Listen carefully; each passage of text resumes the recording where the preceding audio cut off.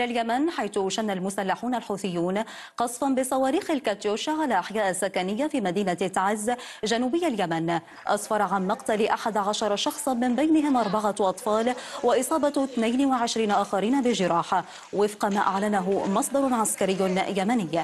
وأعلن المصدر اندلاع معارك الليلة الماضية في معظم الجبهات على أطراف تعز بين قوات المقاومة الشعبية من جهة والحوثيين وقوات الرئيس السابق علي عبد الله صالح من جهة ثانية.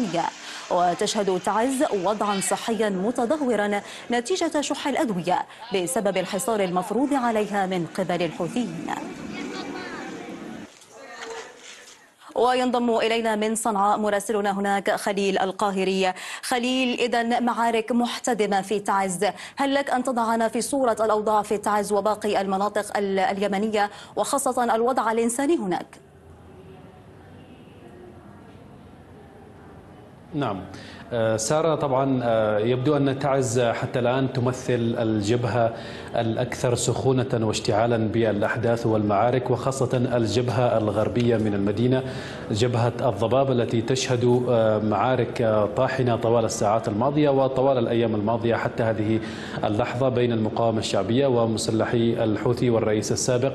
وذلك عندما تحاول المقاومة التقدم باتجاه المدخل الغربي للمدينة من هذا هذا الاتجاه مع الإشارة إلى أن هناك العشرات من الضحايا يسقطون آه، بشكل متتابع من الجانبين.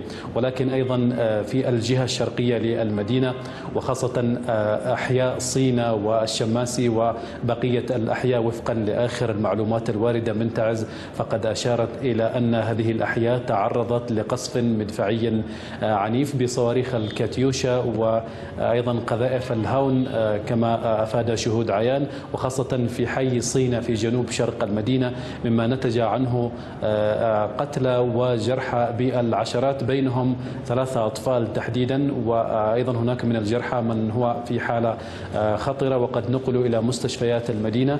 أيضا المصادر أشارت إلى أن الأحياء القريبة من مستشفى الثورة وأيضا مبنى مستشفى الثورة تعرض لبعض القذائف من قبل الحوثيين ما نتج عنه عدد من الإصابات وهو ما دعا المنظمات المحلية إلى إطلاق المناشدات للمنظمات الدولية بسرعة التدخل لإنقاذ الوضع في تعز التي بسؤالك عن الوضع الإنساني والصحي تعيش وضعا إنسانيا صعبا ومأساويا للغاية.